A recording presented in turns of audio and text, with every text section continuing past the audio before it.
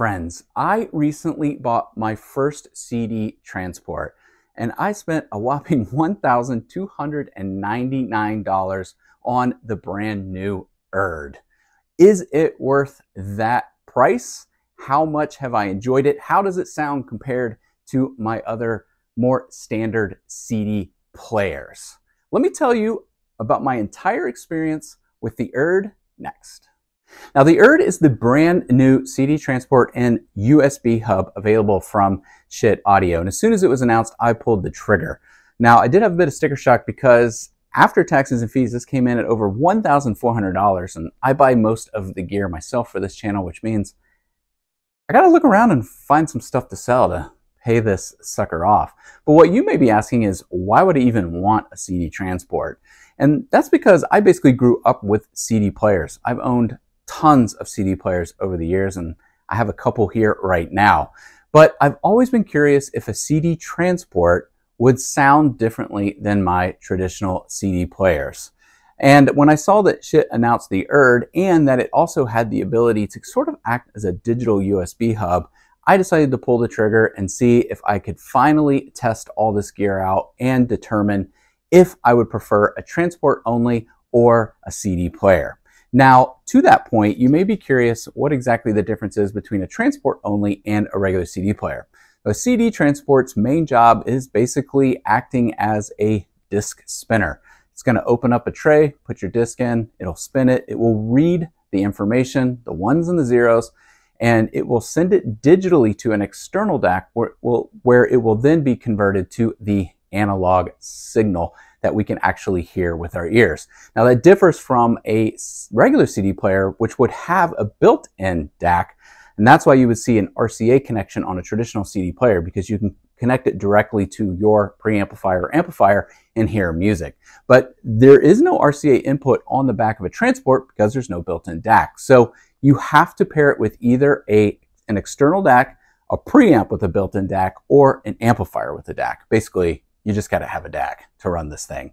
And I have really fallen in love with the idea of owning different DACs over the last year. So I thought having a CD transport would be fun as I continue on that journey and upgrade my DACs over time. It'd be great just to have a dedicated transport to be able to get the best performance possible out of those DACs. Now, as soon as the Urd arrived, I just immediately pulled it from the box and started setting it up. I didn't bother spending much time in the manual because I thought it's a CD transport. I'm just going to plug it up and to my external DAC and start running with it. But I did have a couple hiccups in setting it up and it would have made more sense had I read the manual. First thing, there is no eject button to open the tray. That really confused me because every CD player I've ever owned has had an eject button. On the Urd, you press the stop button and you hold it and it will open the tray. If you simply press the stop button once, it will stop the music playback. This really threw me for a loop for a couple days because I was just too stubborn to read the manual. Once I did and figured it out, that tray's been opening and closing great and everything has been working perfectly. Now, the other thing that really threw me for a loop was that you can use the uh, Urd as basically like a digital USB hub thanks to two USB inputs on the rear of the unit. And I'll be honest with you, I have spent a lot of time the last 10 years or so in the analog world. And so as I'm sort of uh, walking back into the digital world with CD players, transports, external DACs, and all of this stuff, USB connections are not the most uh, not, it's not the easiest thing for me to understand at times. Basically, I had a hard time figuring out which cord to hook up to this, to these units. Now I own a Modi 3 Plus DAC and it was taking me a minute to figure out how to connect that to the Urd. I didn't seem to have the right cables. Now I did reference the manual on this and it said you need a C to C, USB C to C cable or USB C to A, but as it turns out, that was correct for using my MacBook and connecting it. I needed a C to C. But for the Modi 3 Plus, I actually needed a micro USB for the Modi 3 Plus that would connect to the rear of the Urd, which was USB-C. And I'm embarrassed to admit that I bought the wrong cables a couple of times trying to get this set up. But again, I'm just sort of wading into these waters, so everything is uh, sort of a learning process. But once I got everything hooked up and connected, everything was awesome to use. It's really cool to be able to hook up those different units, run it through the Urd and then through my DAC, which basically only allows me to hook up one or two digital connections. This frees up several more connections by using the Urd instead of the DAC. Now, speaking of the two USB inputs, when you're looking at the rear of the unit, you'll also notice that there's an option for three outputs, an AES output, SPDIF output, and a USB output, which uses Schiit's own branded Unison USB option. Now the Urd also comes with the traditional Schiit remote control, so it means it looks a lot like my Saga Plus preamp remote control, and maybe I've mixed them up a couple times, but that's okay. Uh, the, the Schiit remotes always feel great in your hand. I generally like them, and this one works great, and I haven't had any issues with it. And it's pretty handy when you're sitting across the room and you need to either skip tracks, stop, or change outputs, inputs, anything of that nature. And now that I have the Urd up and running, I thought it'd be fun to do a sound comparison with two other units in my house that I use for CD playback. Now, one is a traditional CD player. It's the Cambridge AXC 35. Retails probably between four or five hundred dollars. And the other is just a mass market Sony Blu-ray player that I sometimes use for CD playback. Uh, I just bought it at Best Buy. I think it was like 300 bucks. You could probably get it for a little bit less than that when it's on sale, especially around the holidays these days. Those are the two units I have on hand. As I mentioned earlier, uh, I buy my own gear for these videos. And so after buying the Urd, I didn't have the funds available to buy another transport only, something maybe like uh, an Audiolab, um, a less expensive model or something along those lines the funds just weren't there. So this is what I am going to use when I'm comparing the sound. Now for this sound comparison, I had all, I used all three units connected to the Schiit Modi 3 Plus DAC, which was connected to their Saga Plus preamp, which was also connected to their Horn amplifier. Fun little 10 watt amp that I've really enjoyed using in my small listening space, connected with my vintage Klipsch Heresy speakers that has just sounded great.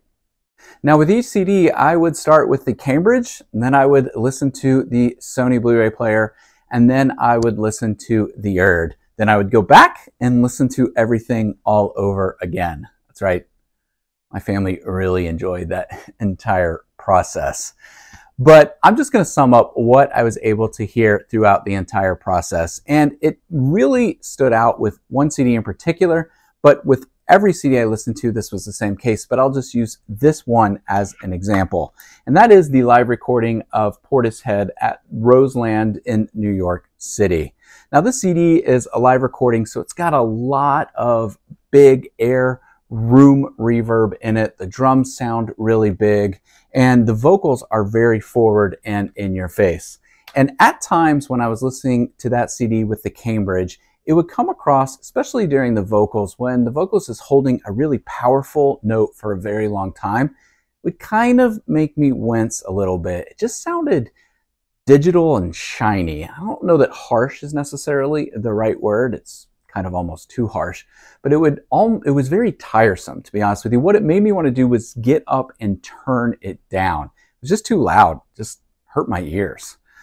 And the Sony Blu-ray player brought that back just a little bit. wasn't quite as forward as the Cambridge. I've reviewed the Cambridge here a couple times on this channel, and each time I've mentioned that the sound is a little bit forward, whether using the internal DAC or an external DAC. So what was interesting with the Urd transport what I noticed the most is that during those moments when the other two players felt too forward or too digital, too shiny, that it was able to get the sound up close to that same spot, but then sort of bring it back just enough so that it never made me wince and it never made me want to get up and turn the music down. A lot of times with those other players, after one or two CDs, I'm just feeling tired of listening to CDs and I put on a record. But with the Urd, it was able to sort of control the sound in a way that made it pleasant to listen to. In fact, after I was done listening to a few CDs, I went back through my collection and was pulling out more CDs to listen to because it never made me tired of listening to CDs. So it feels kind of weird saying that I heard a sound difference from a transport using an external DAC with two other players that are also using that external DAC. Because to me, if they're all connected to the same external DAC, they should all sound the same.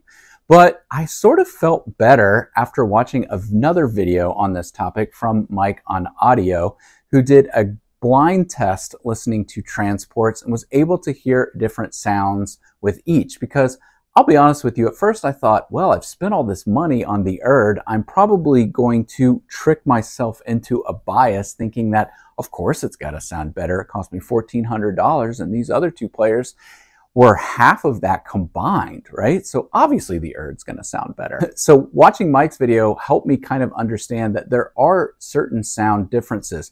Now, I'll be honest with you, it's not necessarily night and day. It doesn't exactly just blow you away and be like, wow, uh, this transport sounds so much different than the others. I found the differences to be just subtle, oftentimes in detail. Um, I found that the instruments were a little bit better placed. Drums were centered better with the Urd. But again, it really came down to the fact that it was able to kind of make the digital sound not be harsh and not be tiring for me. That's what excited me more when I compared it to these other two units and keeps me wanting to make sure I still keep the Urd in my system going forward. Now, it's worth noting that when you're using the Urd for CD playback, it plays only Redbook CDs. It does not play SACDs if you have a large amount of those in your collection and you're thinking about adding the Urd. So now that I've been really happy with the CD playback in the Urd, I do think it's worth pointing out the digital USB hub function and features of the Urd because that really does add to the value proposition versus other transports out on the market. What I mean by that is basically thanks to these two USB connections, you can add other devices to the Urd for playback, whether that be a laptop or a wireless streamer, something along those lines. Now, that can be output via USB to a DAC that has a USB input. But if your DAC doesn't have a USB input, okay, you can take your devices, connect it with the USB input to the Urd, and it will convert it to SPDIF output, which you can then connect to your DAC, which most likely has SPDIF input. My head's spinning a little bit, but if you want more information on that, check out their product information on their website because it answers all these questions in a much better way than I can. But that is a great feature for someone that may not have a DAC with a USB um, input. Now, the, your DAC does have to be UAC2 compliant.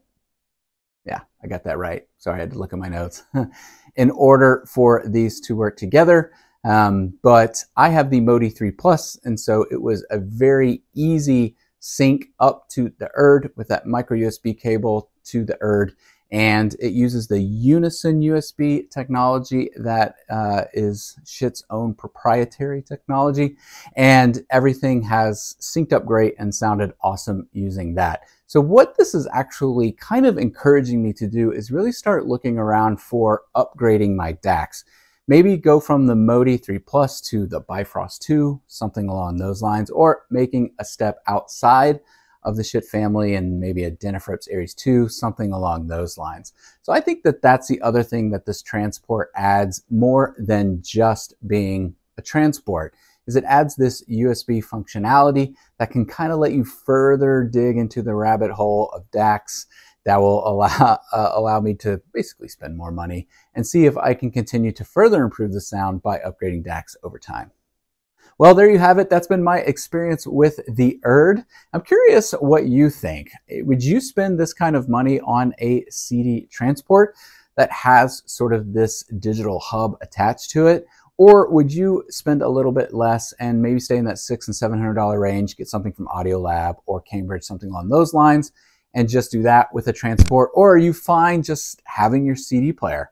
Because I think that's also a great option. Please let me know what you think in the comments below. Now, this isn't the only piece of Schiit gear that I've reviewed this year. I really fell in love with their 10 watt Yolohorn amp that they released earlier this year and made a video review of that product. If you'd like to learn more about that amplifier, you can do so by watching this video here.